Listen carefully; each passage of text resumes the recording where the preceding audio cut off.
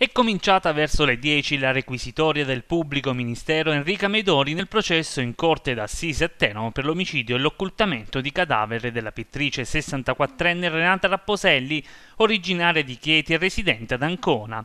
La donna venne trovata senza vita il 10 novembre 2017 lungo l'argine del fiume Chienti a Tolentino, dopo essere scomparsa il 9 ottobre da Giulianova, dalla casa dell'ex marito Giuseppe Santoleri e del figlio Simone, ora imputati per l'atroce delitto davanti alla corte presieduta da Flavio Conciatori.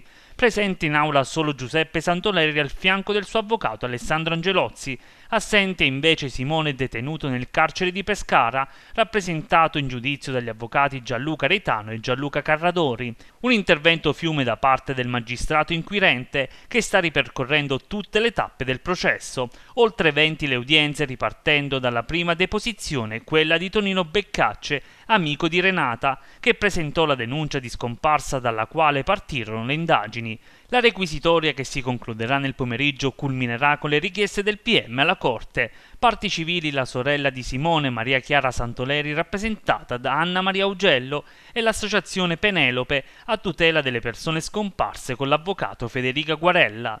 Domani toccherà ai difensori con le arringhe sentenza prevista per il 21 settembre. Intanto è stata emessa ordinanza di dissequestro del cadavere della vittima, attualmente all'obitorio dell'ospedale di Macerata. Gli amici di Renata Rapposelli stanno preparando il funerale che si svolgerà al santuario di Loreto in un giorno ancora da stabilire.